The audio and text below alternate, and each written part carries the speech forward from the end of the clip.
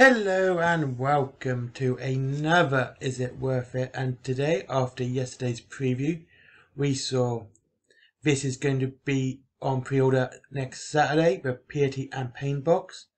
It's another starting box for Warhammer 40k. And let's have a look at what's in it and if it's worth it. So let's look at the Sisters of Battle first. You get your Palatine, five Retributors, they come with their two Armorium Cherubs, and of course your Immolator. This is actually quite a good starting army for a Sisters of Battle. Actually, it's quite good to be honest with you. But it's not a legal one because you only got two heavy support, I think, and but you need three. But it's a nice, good starting force. You can make these Sisters of Battle just a normal Sisters of Battle squad if you wish. But, you know, it's pretty cool. I like it. And here is your, of course, your Drukhari, your Dark Eldar. You have Lilith, your 10 Witches, 5 Scourges, and a Venom. Another good starting army. It's You got heavy support here, you've got a dedicated transport here as well. And, you know, you've got your Witches, which I believe are can be a troop or an elite choice. But what is it worth altogether? Well, for a start, I know the box is going to be £105. So, go to the Games Workshop stop, shop straight away, and here it is £190 altogether.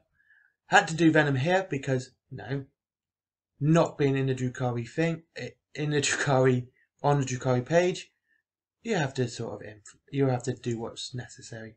And here we go. Right, first things first, I put the Palatine as a Canoness, as this, this is the price for the Canoness, Hospitaller, and the Dialogus.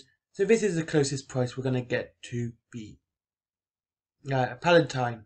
So we got 2250, the Immolator is 45, the Retributor Squad is 3250, and this altogether is actually £100.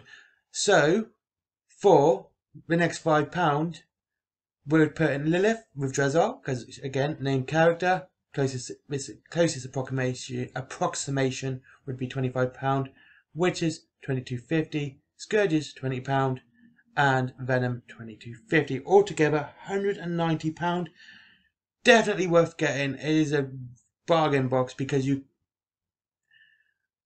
you're gonna be able to sell these. You are, and these are gonna be one to be get people want to get these cheap definitely be able to go half tons with someone, especially with a combat patrol going, you know, being available the same day. So go halves with someone. You're gonna. It's gonna be simple, especially whichever side you want. I definitely want this this side.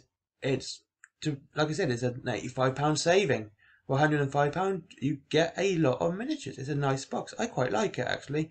So here you go. Anyway, Thank you for watching. Uh, like, comment, subscribe as always. Comments down below. Uh, ring that bell for notifications. I've gotta say, I've just wondered this is actually a really worth box. I'm actually quite surprised GW have done this. This is actually a reasonably priced box.